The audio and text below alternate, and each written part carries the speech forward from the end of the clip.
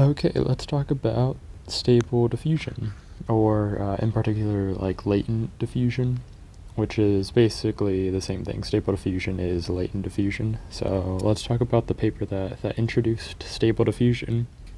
It's uh, it's not too bad, but there's some some subtle parts that isn't in the main paper that uh, is kind of cool to look at, especially the the encoder decoder. But anyways, getting ahead of ourselves. Uh, I guess.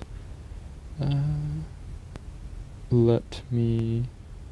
Oh, let me hide this. All right, cool. All right, let's get into it. So, uh, latent diffusion is kind of popular because it's an open sourced um, version of diffusion. It was kind of the first one, and I think the the only one still. That's that's pretty much open source. Kind of cool. But it also uh, made diffusion what it is today. Um, anyways, first off, what is a diffusion model? Um, I kind of went into this in last video, but uh, real quick, say we have this face, I think, uh, call him Joe. Then we um, we take this image, which we'll, we'll call X, at uh, X sub 0, and then we add a little bit of noise to it.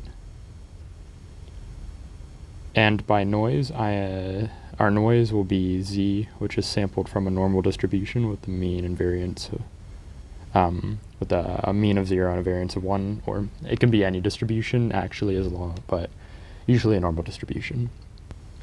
Then there will be a little bit of noise, and it'll be the same exact image. It'll still be Joe, but just with a little bit of noise, and this will be x sub 1. Then you do this again, and you do this uh, big sub t times, where big sub t is usually like a thousand, or big sub t may be equal to 5,000, 2,000, whatever. It's usually a thousand or higher. Uh, the original diffusion paper did a thousand, and that seems to be a pretty good, pretty good basis. And once it's at this time step, it'll be all noise. And you can think of this as uh, an interpolation where x sub t is equal to x, it'll be equal to, um, we'll just say it'll be t minus little t times x sub 0 plus um, 1, I guess that would have to be divided by, so it would be t minus little t, little t, over big T. So this will be between 0 and 1, times x sub 0 plus 1 minus uh, this part right here, t minus little t over big T, times the, the noise, z, where z is from the, the z is from the normal distribution. And at time 0, x sub 0, or, yeah, at time, oh no, I need to switch these around, sorry. This will be, this will be z, and this will be x sub 0. At time 0, this will be 1, meaning that it's all the original image. But at time, uh, and when I say time, I mean we're changing little t. So little t is the one that's changing, big T is our set 1000 uh, big T. Uh, and then at time 500, it'll be half of uh, the noise and half of the image, and at time 1000 or big T, it'll be all. Uh, oh no, I had it right. Yeah, sorry. Anyways, you can you can think of it as an interpolation between the the image and the, the noise, where as you increase the, no the number of time steps, there is more noise in the image, and there's less orig image in the image itself. And the way you do this is with the function, I think they called it p in the original paper. And then you use a function called q with parameter th parameters theta, which is just a neural network, q sub theta, to denoise the image.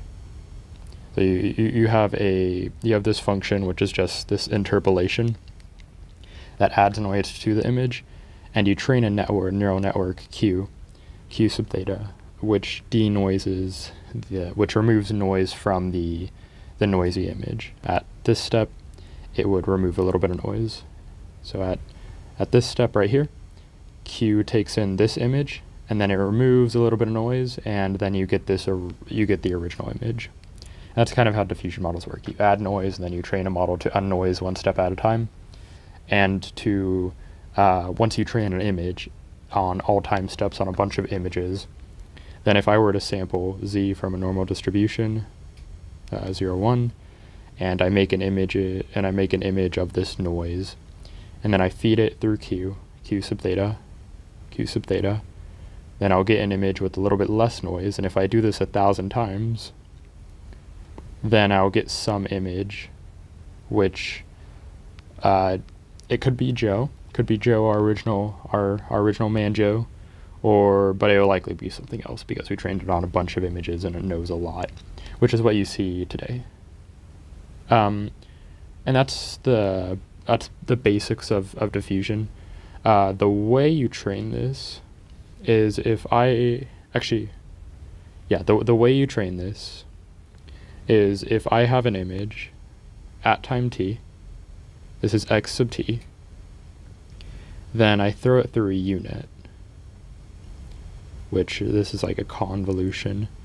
So I throw it through a U-Net, which will give us some latent down here, some something in the latent space and so on. Your normal old U-Net. Um, and then this outputs you would think it would output x sub t minus 1 because we're removing noise, but the original paper found that if I, so if I had this image here with uh, Joe in it, then what we predict is actually the noise in x sub t, the noise that we want to remove. Uh, the noise that we want to remove to get from step t to t minus 1 specifically not all the noise. And the way, and then what we can do is we can subtract the noise from here. And the way you train the model is using uh, the using the loss function. So uh, say we have some noise, z is sampled from a normal distribution. Then uh, let me find the uh, let me find the, here it is. All right. Uh, in this case, they use epsilon for the, uh, the parameterization, but the loss is equal to the, uh, oh, uh, the epsilon sub theta means that this is, the, our epsilon sub theta is this U-Net right here. This is our epsilon sub theta. And um, and it's called epsilon sub theta and not q sub theta because you're predicting the noise rather than going directly from x sub t to x sub t minus 1. So our epsilon sub theta is, this is what it's predicting right here, which is the noise at time t, epsilon sub t. And the loss is equal to the mean squared error between, uh, I guess I won't use z, it'll be epsilon, and the model at of uh, this epsilon given t. So this is our, this first part is the actual noise itself that we sampled from the, di the distribution. And the second part is the, the, the predicted noise. And you just have the model predict the noise inside x sub t. And actually, I'm going to write this out in a better way so that you can see kind of how um, it's working. Um, because you may be thinking a U-Net is not, it's deterministic. So how can it predict noise? Well, let me show you it this way. If we, it's actually given x sub t, and instead we give it x, x sub t, we give it um, the parameterization of, um, uh, like this was our parameterization right here for x sub t. If we put that in there, we put that right there, where this first part is how much of the real image we have, and then the second part is how much of the noise we have, where I guess it's epsilon instead of um, t, then you can see that all the model has to do is remove the real part of the image, and then it predicts the the noise from the image. So that's how um, that's how you can get a model to kind of predict the the noise from an image, and then you compare that to the original the original noise using MSE, and that's your loss. Uh, yeah, and that's that's kind of how um, a normal diffusion model works. So now let's get into the the problems with diffusion. Uh, the first problem with diffusion is that it, there's a long long generation time.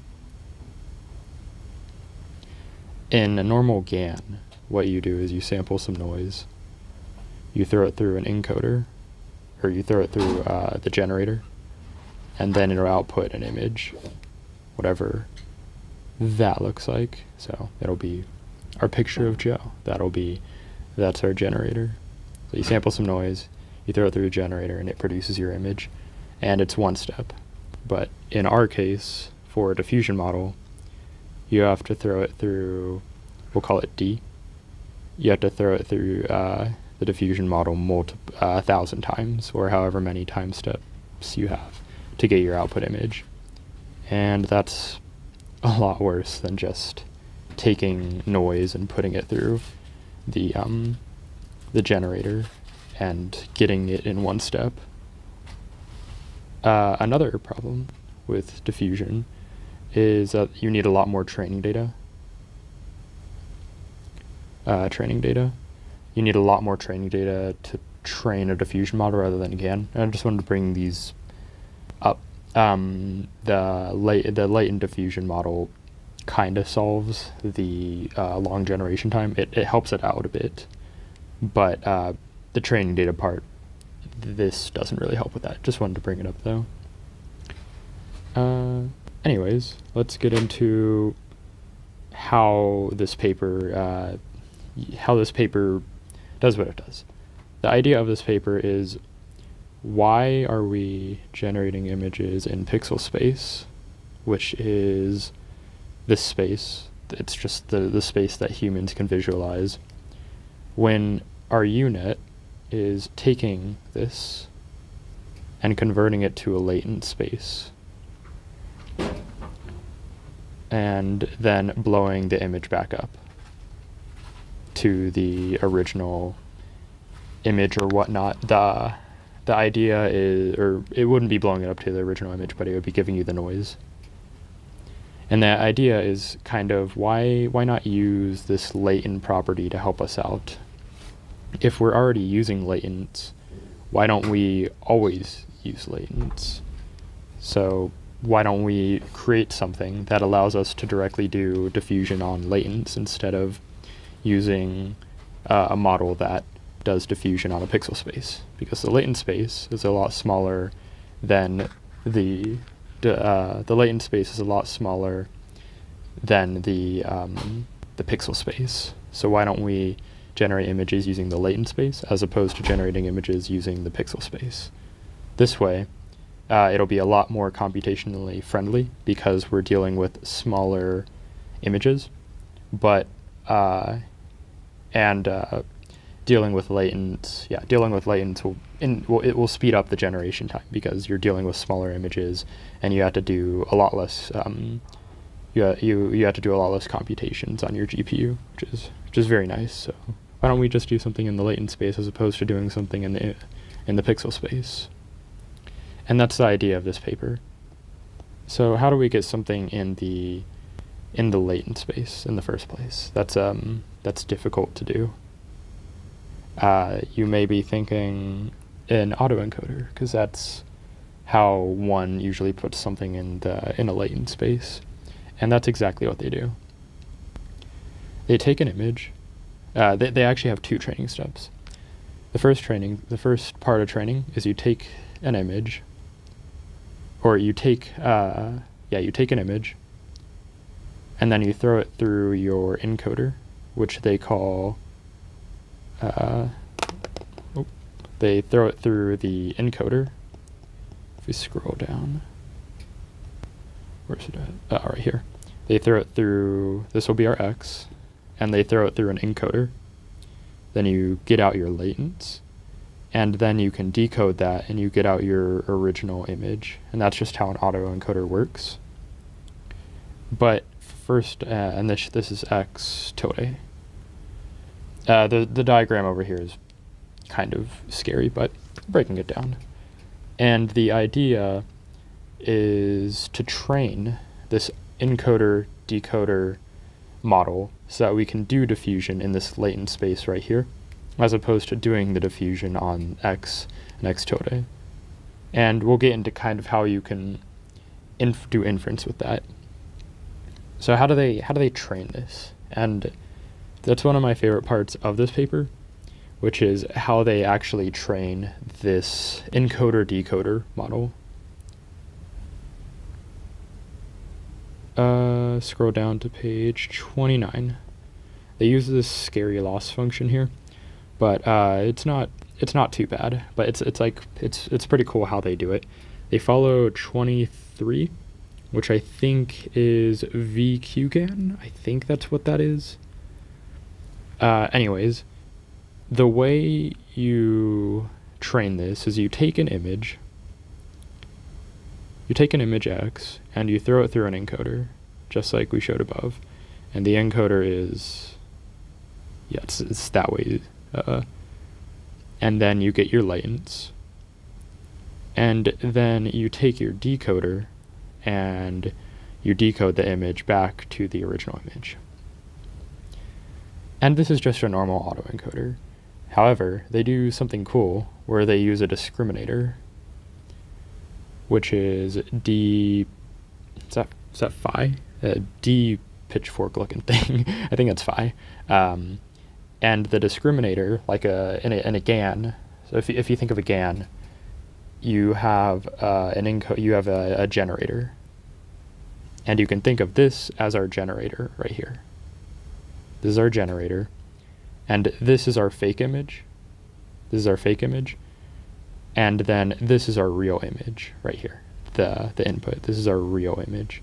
And if you know how a GAN works, then you have a generator generating fake images. Then you have a discriminator that has to discriminate, uh, that has to say, is this image real or is this image fake? Was it produced, was it a real image from the data set, which is the input into the autoencoder, or was it produced by the autoencoder?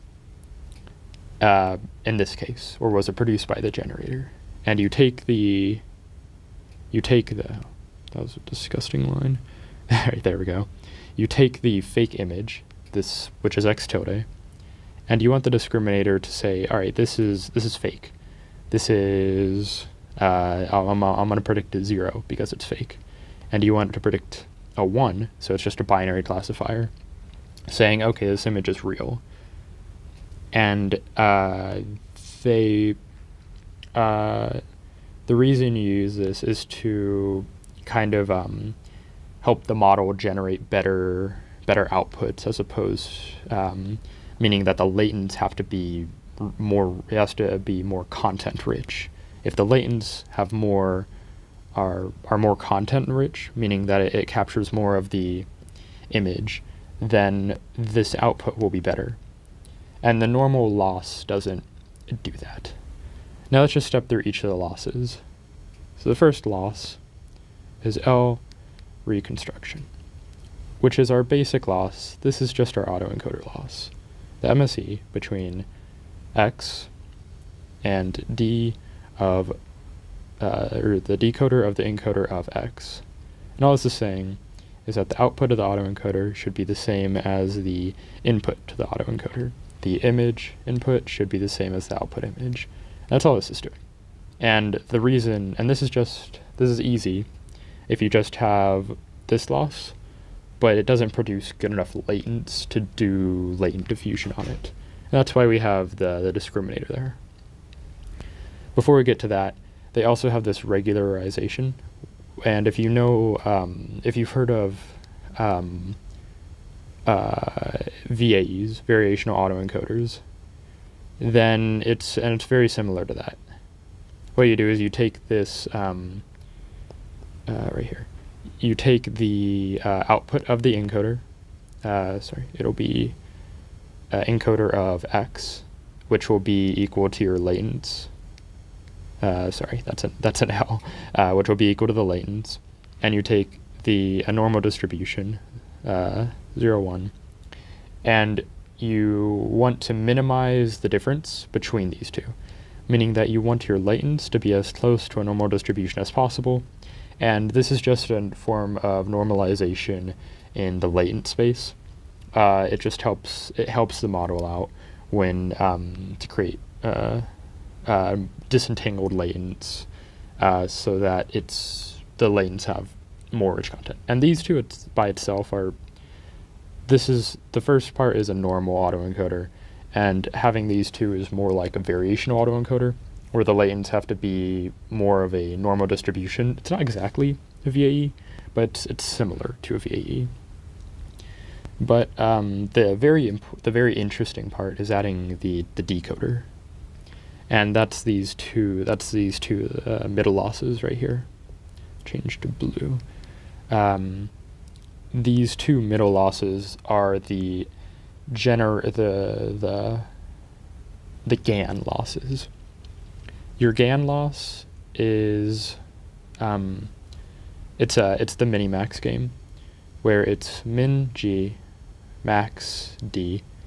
Uh, in this case, it'll be D, uh, whatever, I think it's phi. And uh, G is equal to your encoder, your encoder decoder, your encoder decoder, and then you have your discriminator. Uh, I'm going to remove G because you're actually minimizing the encoder decoder, or you're minimizing the parameters of the encoder and decoder with respect to the loss, uh, just like normal gradient descent. And there's two parts to this. You have the the first part is the negative log of d of e. Uh, sorry, it's the negative log of d phi of d of e of x. Sorry, this is a massive. This is so many, so many parentheses. All right, this first part is saying if I generate an image with the, if I generate the latents with the encoder, and I decode it with the encoder, then this should be something like close to x. And then my discriminator will take in this part and it and then we just do the negative log of this, which is more of a normalization term. So we can remove the negative log and what this is saying, if we have this minimax game, then we want the parameters of the encoder and decoder to minimize this. Uh, sorry, to maximize this because it's the negative. Um, so we want our our encoder and decoder. It's it's a, it's a little backwards since you have the negative sign. The encoder and decoder are maximizing this function, and the um, discriminator is minimizing this function because there's a negative, a negative in front. So you have this, um, and what, what this is saying is if I am the encoder and decoder, then I want to produce I want to produce an output X so that the decoder thinks that this is as real as possible. Remember, we said something is real if it is if the decoder or if the discriminator prints is a 1. And the discriminator is saying, okay, I, given the encoder and decoder output, I want to make this as fake as possible because it's like, hey, this data is fake. I need to minimize this because I need to say that I need to predict zero if the data is fake. And then the the the encoder and decoder are like, well, I want to make this look as real as possible to fool you, um, and it produces this X. Um, and that's LAVD. Uh, and then you have this part here, plus log of um, d of phi of x, plus log d of phi of x. And this is kind of on its own. The encoder and decoder are not part of this, meaning that they don't have any effect on this. And you want to maximize this. This is our max. This is what um, uh, your uh, the the the decoder the discriminator wants to maximize this. And since it's maximizing this, that's saying, okay, given this real data, given this data that I uh, is know that I know is real, I want to make it look as real as possible, meaning I want to predict 1 for this, and I want to predict, well, in, in the, uh, let's just look at this in terms of both sides. If I am the encoder and decoder, I want to make the data look as real as possible, meaning that I want to, if the decoder, if the discriminator takes in my input, I want it to say that this is a 1, meaning that it's real. On the other hand, if I, which uh, I'll show in blue, so it wants to say that this is as real as possible. And you could argue that it also wants to make this look as fake as possible, but the encoder decoder have no idea. Like it, it, it doesn't have any impact on this, so we're not going to say that. And this will be blue, our encoder decoder. And then our discriminator is saying, okay, I want to make this data that is fake look as fake as possible, but I want to make this data that is real look as real as possible. And all that to say, if we do that, then the output of the encoder and decoder will look more real if it, it has two parts. It's saying, I want these two to be the same, but I also want this data to look real. And all that gives us some really nice latents if the if the discriminator part made any sense. Um, I hope it did because uh, it was, was uh, trying to do my best to to explain that encoder decode part. But uh, if you didn't completely get that, that's no problem at all. That's just is just a side note that I wanted to go into because I thought it was really cool to see how the the encoder decoder was trained.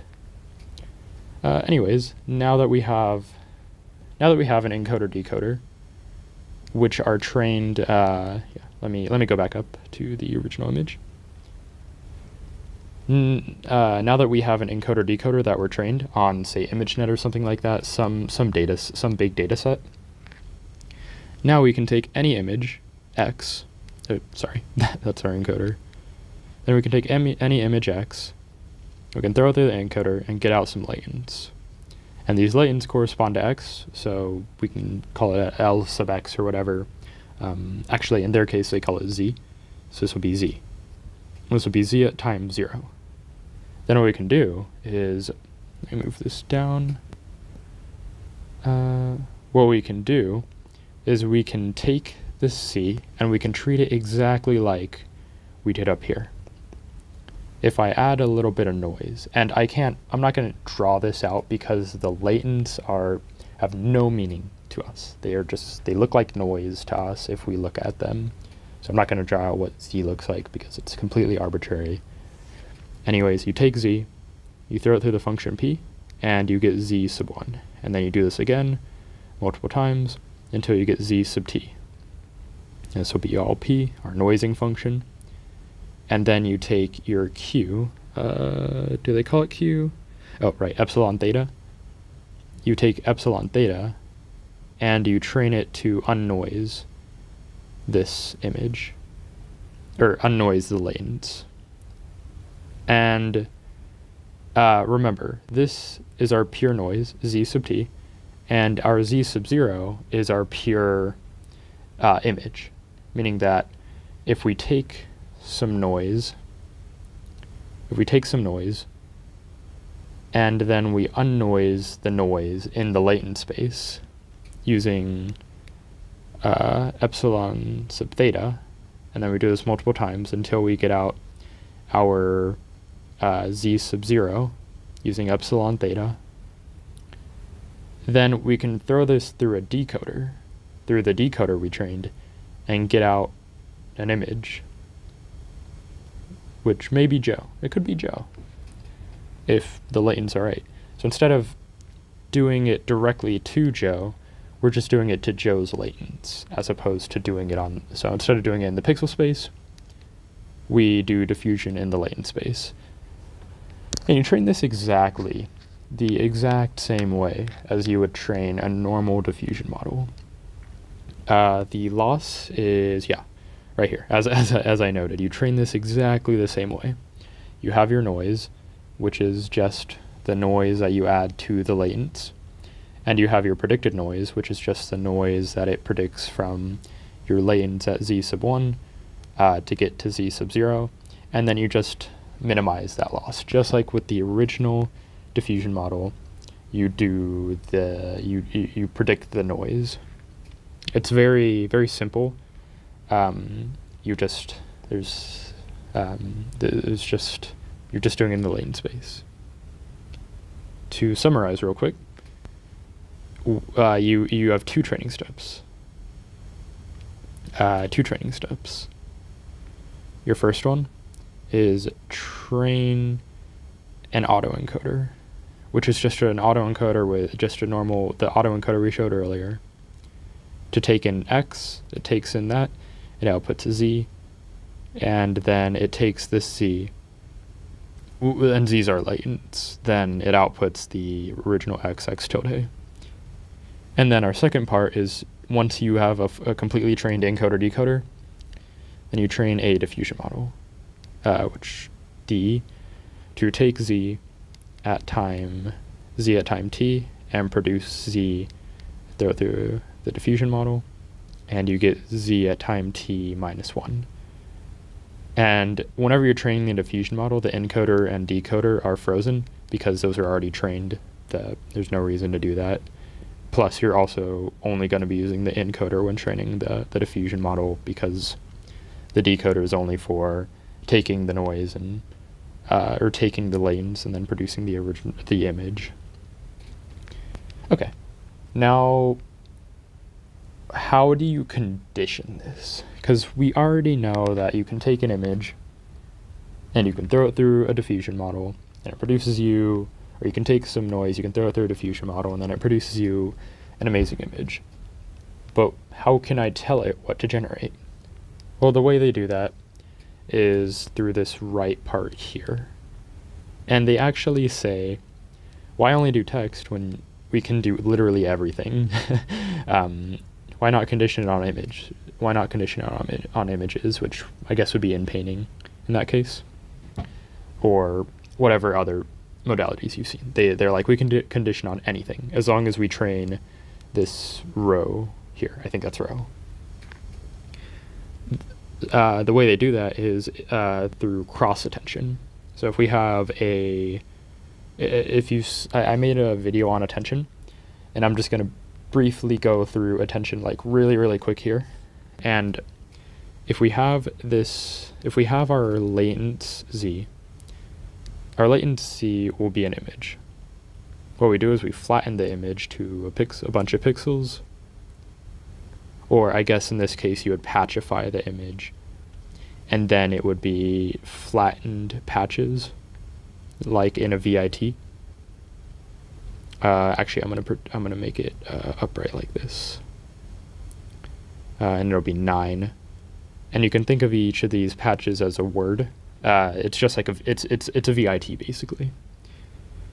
Then if we're doing self-attention, you'll throw this through W sub Q, which is our queries. Um, that's our query weights, and you get out Q, uh, which is just whatever shape that is. Uh, you get out your queries, you get out your keys with W sub K, W sub K, and then you get out your values, W sub V. Uh, passing Z through all three of those. And then you multiply Q and K together, Q, K transpose to get your um, your attention matrix. You throw that through a softmax function, and you multiply this the output of the softmax by the values. So I'm going to call this S just for softmax. Then you do S times V. Or actually, I'll just call this O for your outputs and that is that's your attention but uh, or that's called self attention now with cross attention what if we don't have uh, what if we don't let me just yeah now for cross attention what if i have our image z our image z over here you break it up into patches just like usual and then you have your your sequence of patches, flattened patches. This will be our Z, but now in this case we have our rho. So this will take in text, this is rho sub theta, And the theta means that you're training this. And you're going to be training this along with the normal diffusion model. And let's say the text, so this will be our text or or maybe images or whatnot, and you put this through here, and this will output uh, your tokens in whatever sequence this is. And you can just use a VIT to do that. And this will be our output of rho. Let's see. They they may formally defined it here. Uh, no, they don't. All right, so this is just our output of rho right here. And this is our image. Um, you can see here that, um, yeah. So what we do is we can take the, the queries, W sub Q, and you put Z through the queries. This is gonna look a little, the arrows are gonna start going all over the place. And then you have W sub K and W sub V. And you put the text embeddings through those. Uh, I'll draw it as blue for this one. Blue will be our image, and black will be our text. To be W sub Q. Then this outputs the queries, and the queries come from the image, while the keys and the values come from the uh, come from the text um, or image or whatever conditioning you're doing. Then to get to the attention matrix, you do Q K transpose. And this gives you your attention matrix. And then you multiply, you throw it through the softmax, and then you multiply that with the values to get your output.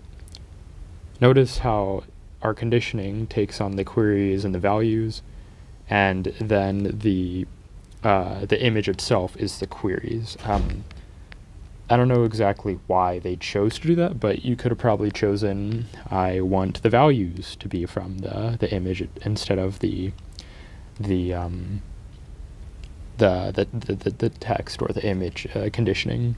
Uh, they may have just found that this worked best after trial and error and seeing, oh, if we make the queries the image, but uh, it doesn't really matter.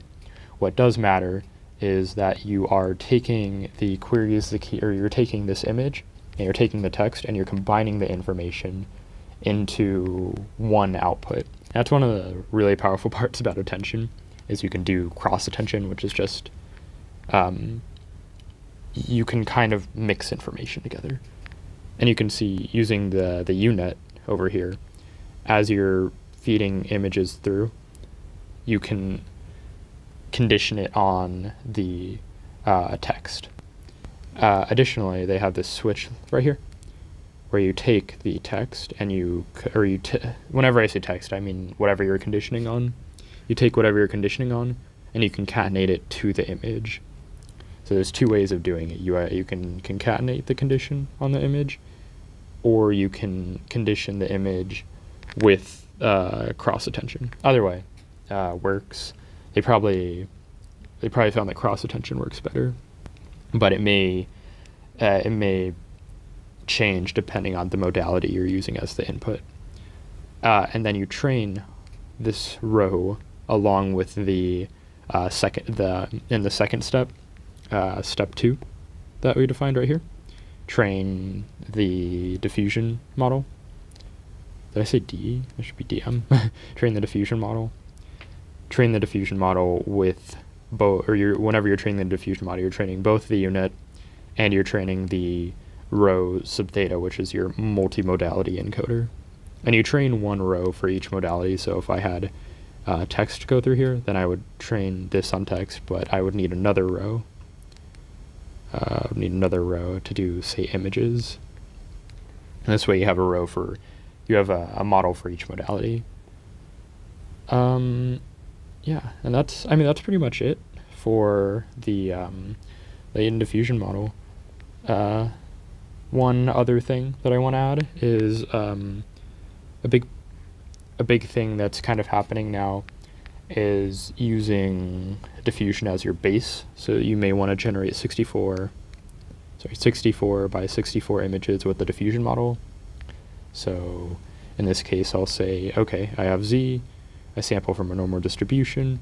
I create this latent, these latents, which I guess would also be z. All right, this will be our epsilon from a normal distribution.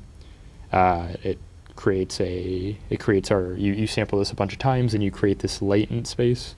Uh, let's say this is a uh, in this case I think they I think they compress it by 16. So this would be our 4x4 latents. You throw this through the diffusion model uh, multiple times, and you get out your, uh, this would be our z sub t, this would be z sub 0, this is a 4x4 image, or 4x4 latents. And you take these latents, and you throw it through the decoder, uh, the decoder over here, which, is, which would look like that and you get out your image, which may be Joe. Yes. Welcome back, Joe. you take your image, which will be 64 by 64. Is the decoder blows it back up because of the encoder decoder. And now you have your image, which uh, we'll call X. But 64 by 64 is small.